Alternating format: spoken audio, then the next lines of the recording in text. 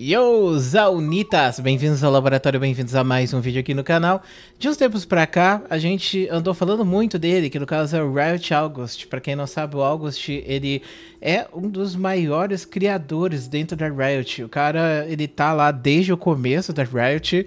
E não só isso, ele é um dos devs, se não o dev mais importante que a Riot tem atualmente. O cara criou os personagens mais populares e mais lendários da história do League of Legends. E não só isso, o cara, ele também trabalhou no modo enxame, ele foi lead de campeões novos, então o cara tem muita experiência, trabalhou pra caramba, fez muito personagem épico, fez muita coisa épica, foi promovido para hoje ser designer-chefe da Riot. E ele vai tirar um tempo fora do League of Legends. E caramba, deu ruim? Hoje é dia de Blaze. Blaze é uma plataforma de jogos online para maiores de 18 anos. Se você não tem 18 anos, pode pular essa parte do vídeo. E lembrando que quando você criar a conta da Blaze, coloca o meu código ZA1 para você ganhar um bônus de até mil reais no seu primeiro depósito. Além disso, você também vai ganhar 40 rodadas grátis nos jogos originais da Blaze. São esses jogos que ficam aqui no canto esquerdo. Crash, Double, Mine, Street Slice, Crash do Neymar, Fortune Double, Crash 2, Dice, Limbo, Tower, Slide, Plinko e Coin Flip. Então você vai poder treinar bastante, jogar muito. E quando você for fazer seu depósito, ainda vai ganhar o bônus. Olha aí, coloca lá Zaun, beleza? E para fazer depósito é só clicar no botão vermelho, clica aqui ó no Pix, já vai estar tá caindo na sua conta. Retiradas também são super fáceis através do Pix também, tá bom? Lembrando, clã, quando você agora não foi no seu PC, foi aqui no meu PC o Zap Zap, calma aí.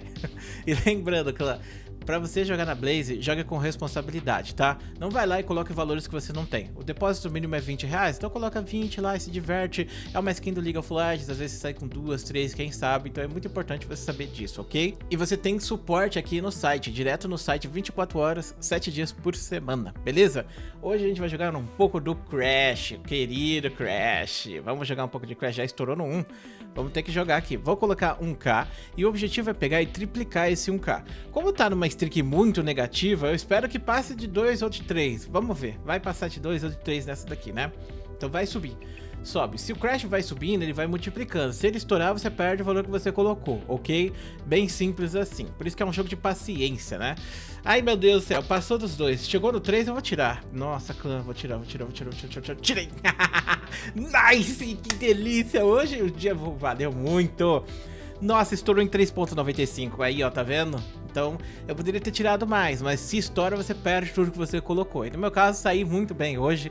Hoje eu tô bem pagando porque eu tava jogando mais aqui já, então, então tá, tá tô muito feliz, tô muito feliz. Então, lembrando, quando você for criar a conta na Blaze, coloca o meu código ZA1 lá, beleza? Agora continue com o vídeo. Se eu gostei, é muito importante, deixa ele no começo do vídeo. Convido você a se inscrever no canal do Laboratório para não perder nenhum dos vídeos que a gente lança aqui todo santo dia. E a notícia de hoje é essa: o August vai tirar um tempo. Segundo o August, vou até parafrasear o que ele escreveu aqui no Twitter para vocês. Eu estou tirando um ano sabático. Na verdade, cara, eu não sei se vai ser um ano inteiro, acho que é só o final de ano, tá? Mas ele vai tirar um sabático aí, vai tirar um tempo. Olha, eu vou falar pra vocês, viu? Cara, que vontade que eu tenho de tirar um ano sabático também, viu? Se pá, 2025, hein? Quem sabe?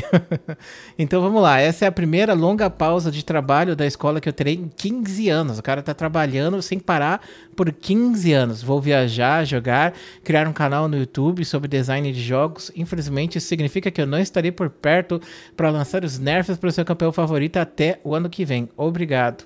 É. Sei lá, mano. Tipo. Eu gosto muito do August, eu acho ele muito gente boa. Ele é um cara que, inclusive, eu comecei a acompanhar o TikTok dele. Lá no TikTok ele fala sobre desenvolvimento de personagem, decisões, coisas bizarras que já aconteceram dentro da Riot, sabe? Tá sendo bem curioso assistir os vídeos dele e divertido, porque imagina, o cara ele participou de tudo isso, ele viveu tudo isso. Então, quem melhor que ele, né, para falar sobre os builds mais quebrados, os maiores desesperos que a Red já teve, coisa do tipo, né? O cara é muito pica, sendo que, tipo, o último grande trabalho dele foi o modo enxame, junto com o Sir Heian, ele fez o modo enxame. Ó, para você ter ideia, olha só, vamos dar uma olhada aqui no currículo mais recente dele. Ele trabalhou na Briar, na Belvete, na Zeri, na Jinx, na Vai, no Echo, no Jin, na Senna, no Viego, no Nar e no rework da Kayle. Além disso, ele também trabalhou no primeiro set do TFT e fez a Neon do Valorant. Caraca, mano, olha a lista do cara. É tipo, só lenda em cima de lenda. Você pode até reclamar de algum desses campeões aqui, mas caraca, mano, o cara trabalhou, ó, só aqui, ó. Jinx, Jin, Senna, Viego. Esses quatro personagens, ó. E esses quatro personagens aqui, provavelmente é mais de 40% das partidas League of Legends. Esses personagens vão estar em alguma delas. Porque realmente eles são muito populares, eles são muito famosos. E agora ele vai tirar um tempo. O que, que isso significa então? Significa que o League of Legends vai piorar?